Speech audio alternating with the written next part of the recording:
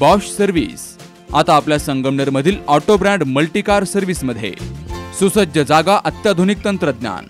Denting पेंटिंगची सुसज्ज machinery car repair wheel alignment and balancing AC repair spare parts foam wash oil change engine service brake service battery service light service आणि code scanner summer offer oil coolant filter बदली करा आणि मजुरीवर मिळवा शंभर टक्के सूट. Limited period offer त्वरा करा.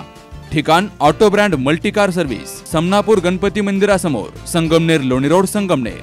संपर्क बहात्तर अठरा अठरा अठरा एकोणपन्नास.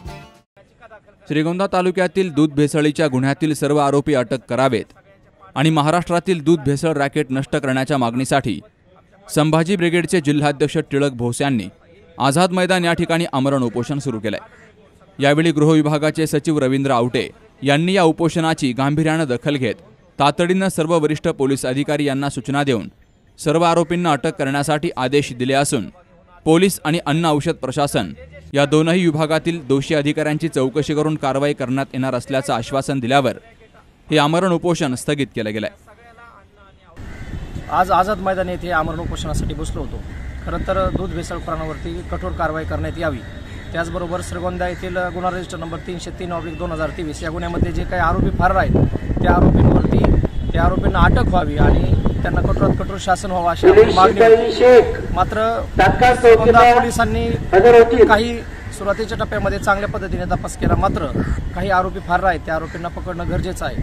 खरं तर दूध भेसळखोरांचं हे जे काही मोठं रॅकेट श्रीगोंदा श्रीगोंदा तालुक्याच्या परिसरात आणि महाराष्ट्र राज्यामध्ये याच्यामुळं अनेक लोकांचे जीव धोक्यात आहेत. गंभीर गुण आहे त्यांच्यावरती मोका अंतर्गत कारवाई व्हावी. अन्न आणि औषध प्रशासनाचे जे अधिकारी आहेत जे याच्यामध्ये या दूध भेसळकरांना मदत करण्यासाठी हप्तेखोरी करतात पैसे घेऊन यांना मदत करतात अशा अधिकाऱ्यांवर सुद्धा कारवाई व्हावी ही आजची आमची मागणी होती.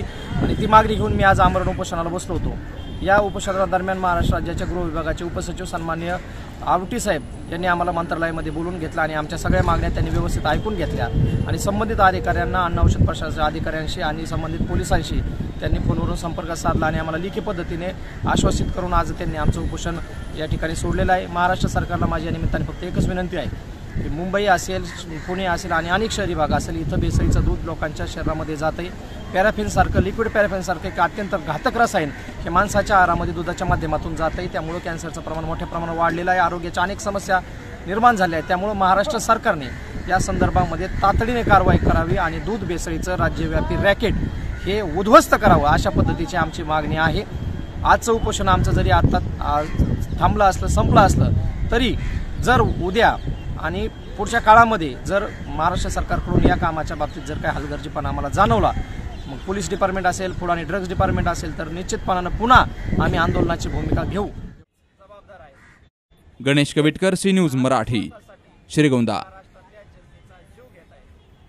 Monetarex अर्थपूर्ण भविष्याचे निर्माते. वेगवेगळ्या ठिकाणी केलेल्या गुंतवणुकीतून आपल्याला जास्तीत जास्त आठ ते दहा टक्केपर्यंत परतावा मिळतो. मात्र स्टॉक मार्केटच्या माध्यमातून आपण कमीत कमी वीस ते तीस टक्क्यांपर्यंत परतावा मिळू शकतो. स्टॉक मार्केटमध्ये पाच वर्षांचा अनुभव असलेली कंपनी म्हणजेच Monetarex.